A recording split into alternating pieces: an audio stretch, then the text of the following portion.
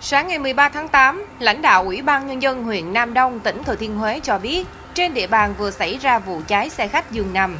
Vụ việc xảy ra vào khoảng 3 giờ 20 phút sáng ngày 13 tháng 8, tại km 30 cao tốc La Sơn, Túy Loan thuộc xã Hương Lộc, huyện Nam Đông, khu vực gần giáp ranh địa phận thành phố Đà Nẵng.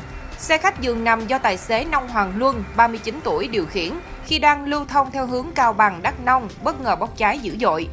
Trên xe lúc này có 26 hành khách, vụ cháy khiến phương tiện hư hỏng nặng, nhiều tài sản bị thiêu rụi, 26 hành khách kịp thoát nạn.